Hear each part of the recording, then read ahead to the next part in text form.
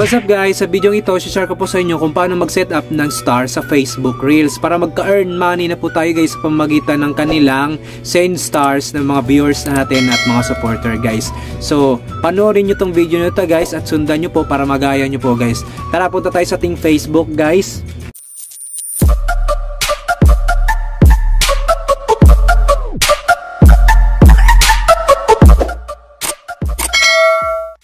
Proceed tayo guys, punta tayo sa ating Facebook. Click Facebook guys, punta kayo sa inyong Facebook guys ha. So ito yung Facebook ko guys. Punta tayo sa ating profile guys. So itong Facebook ko guys ay naka professional mode. Sana yung sa inyo guys naka professional mode na po yan.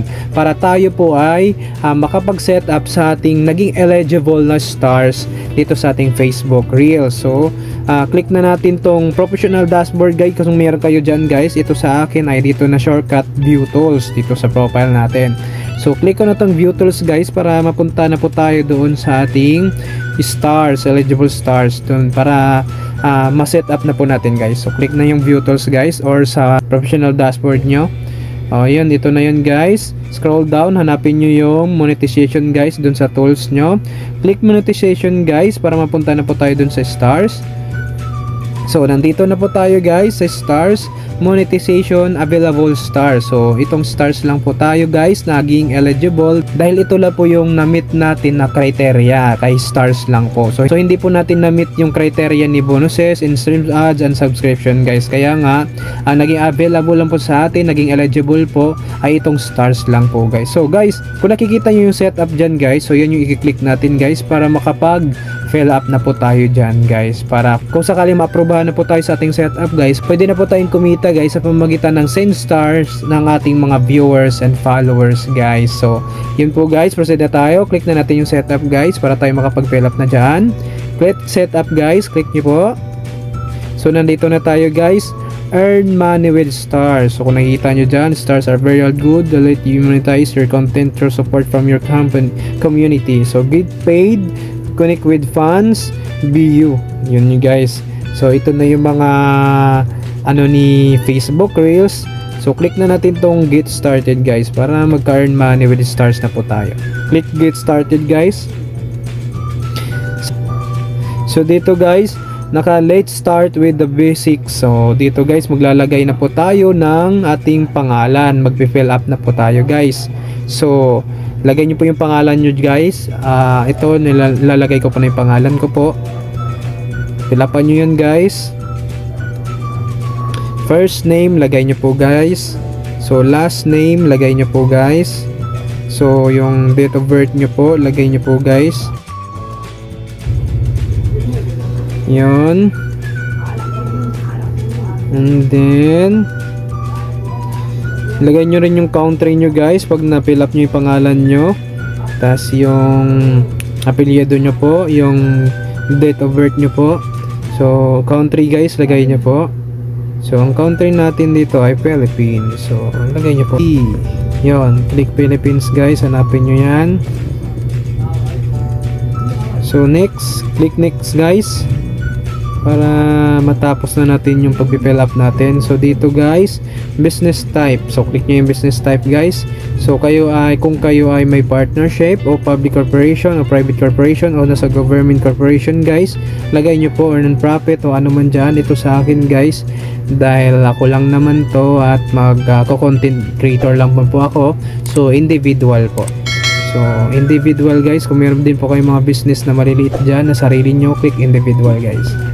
Ayan. So, next tayo guys. Click next guys.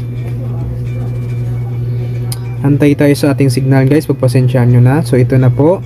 So, nabalik na siya sa, sa ating pangalan. Kaya na kailangan meron tayong uh, middle name guys. So, yon Nalagay ko na ulit guys. Bakit naging 26 to? Yan. So, kailangan ma-check natin guys, ma-edit. So, primary address natin guys. Scroll down guys, kailangan ma-fill up natin ito na maayos guys. Yung city natin, lagay nyo po. Then, state to province guys, lagay nyo po dyan guys. So dito dahil din dito ako sa Manila, Metro Manila guys. Zip code. Zip code guys, alamin nyo po kung anong zip code. Kung hindi nyo po alam guys, so kung hindi nyo alam guys, punta kayo sa inyong Chrome guys. Mag-search po kayo sa address nyo doon. So ganito guys, punta tayo sa Chrome. Ah, zip code Manila para malaman guys Manila Barangay 835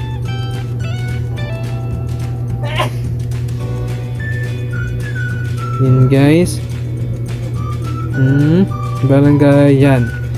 Yan guys. Ganyan lang po kadali para malaman po yung zip code natin. Doon lang po kayo mag-search sa Google guys or sa Chrome. So, pag malaman nyo na po, balik na po kayo guys. So, ito yung sa akin, 1011 ang zip code namin dito.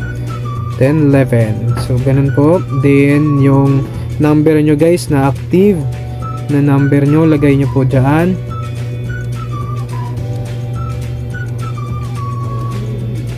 lagay nyo po dyan guys then yung email nyo po. Lagay nyo po yung email guys. Kailangan yung active na email na ginagamit nyo po palagi. Kasi so pag nalagay nyo po niya yung email nyo dyan guys so dito na naman po tayo sa ating TIN number guys. So tax identification number. So kinakailangan guys ilagay nyo po yung tax number nyo dyan. Alamin nyo po kung ano po yung tax number nyo, yung TIN number nyo po. Alamin nyo po guys kung ano yon. So ito yung sa akin guys. Kailangan walang dust guys. Kaya napula po siya guys dahil may dust po siya. Kailangan wala pong dust guys ha pag naglagay kayo dyan. So yun guys, pag nalagay nyo na po yung inyong TIN number guys, kinakailangan wala tayong dust guys ha na nakalagay kailangan po diretso lang po puro number lang po dikit-dikit guys. At dapat sakto po guys. I-make sure nyo po ang inyong tin number ay sakto guys. Walang dash po guys. So pagkatapos nyan scroll down tayo guys. So yung VAT GST registration number optional guys. Optional lang po iyan. Kahit wala na po iyan guys. So scroll down guys. Dito na po tayo. Select nyo po tong under penalties of perjury guys. Are certified that the number entered in the flow is my correct taxpayer identification number or I am waiting for a number to more. So select nyo yun guys para ma-proceed na po tayo sa another nating ano, pipilapan guys. So click next guys. Yun, antay po tayo guys ha, pagpasensyahan nyo na kung mahina ang aking signal guys. Guys sana nasundan nyo to. At dito guys choose how you'd like to get paid. So dito na guys nagtatanong kung paano mo, paano mo siya makuha so itong ano natin so dito guys uh, uh, manually link bank account or link your PayPal account. So dito guys ang pipili natin, ang mare-recommend ko po, ang masis ko po sa inyo ay itong manually link bank account kung wala po kayong PayPal account. So ito na pong uh, bank account guys manually. Kasi nga guys itong PayPal guys pag wala kayo niyan, wala kayong account na yan, hassle po yan guys. Ang dami pa pong proseso. So para hindi po tayo ma-hassle guys, ito na po yung manually link bank account. So select nyo yan guys, manually link bank account.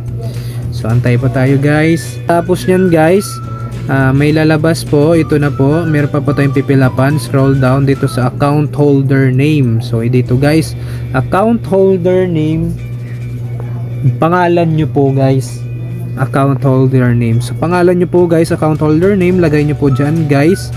Kailangan saktong pangalan guys. Hindi po magkakamali sa spelling niya guys. Kailangan sakto po kasi nga sakaling magbibigay tayo ng ID natin doon sa ating uh, pupuntahan na account doon sa bangko na yon ay sakto po ang ating pangalan.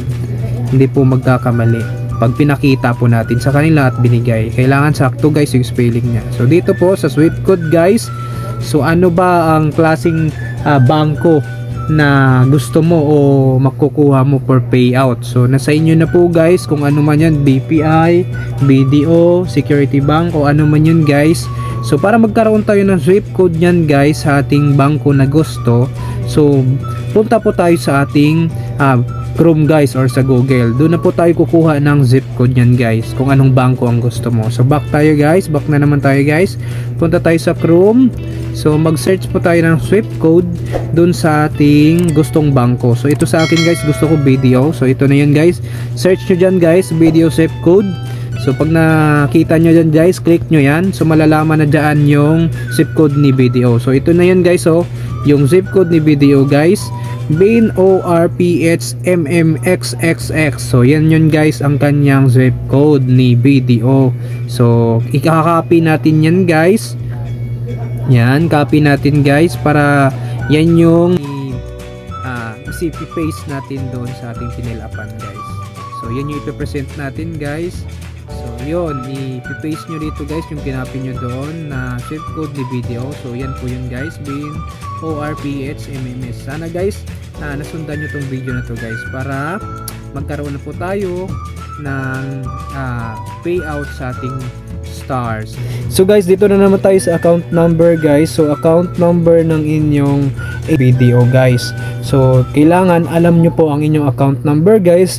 Diyan po nyo po ilalagay dito sa account number guys. Kailangan exact po, sakto po yung number niya at alam nyo po kung sa inyo po ba iyon. So tayo guys, yung safeguard natin ay video. Dapat video po ang ating ATM. So dapat alam po natin ang ating account number guys. Kunin nyo po doon sa bangko guys. Kung gusto nyo pong makuha. Kung wala pa po, so isi-select nyo po, i-click nyo po yung add letter. Okay lang naman po na wala tayong account number pa guys. Pero kinakailangan malagyan po natin yan guys. Kung wala pa po, at pupunta pa po kayo doon sa bangko para malaman nyo so click nyo muna tong add letter guys so click add letter guys kung wala pa po kayong account number guys dito sa akin guys uh, wala po po kasi akong account number so click ko na rin tong add letter guys so click add letter guys kung wala pa pong account number Yon, setup complete. So okay na po siya guys. You can now use stars. So yun guys, pwede na tayong gumamit noon sa ating stars. Pwede na tayong masendan doon guys. So pwede na po tayo magkaka-earn doon. So ganun lang po siya guys. Natapos na po natin siyang i-fill upan guys. So yun guys, ganun na po siya kadali mag-fill up or mag-set up dito sa ating uh, set up payout account. And then click nyo na po yung done guys. So then punta po tayo sa ating home guys. Titignan po natin kung nag-notif na po ba si Facebook, kung na-approve na po ba ang ating setup or fill up dun sa ating uh, payout account guys. So, back tayo guys, punta tayo sa ating home, tingnan po natin guys kung nag-notif na po ba si Facebook. Yun guys, an admin has made updates to your payment account. Oh, yun guys, nag-update na po siya guys. You can get started earning money on Facebook. So dahil natapos na po natin guys ang uh, pagsiset up natin sa ating Stars Facebook Reels. So nag-notif na po si Facebook guys. Kung nakikita nyo dyan, nababasa nyo dyan, you can get started earning money on Facebook. So yun guys, ganun lang po siya kadali guys. Guys, sana nasundan nyo tong video na to guys at sana mayroon kayo natutunan at maraming salamat sa panonood guys. Yun guys, ganun lang po kadali mag-set up ng ating Facebook Reels na naging eligible nating stars guys. So kung napanood nyo to nasundan guys, gayahin nyo po yun guys. So ganun lang po siya kadali guys. Guys, sana nagustuhan nyo tong video na to guys at kung nagustuhan nyo tong video na to guys, please support my YouTube channel, Kuya Chris TV po at pindutin nyo na rin po ang notification bell button para mas updated po kayo sa aking aking mga bagong videos na upload guys. Guys, kung meron po kayong mga suggestion at katanungan, comment down below lang po sa baba at huwag nyo na rin po kalimutan mag-like and share guys. Guys, maraming salamat sa panonood. Have a nice day and God bless all.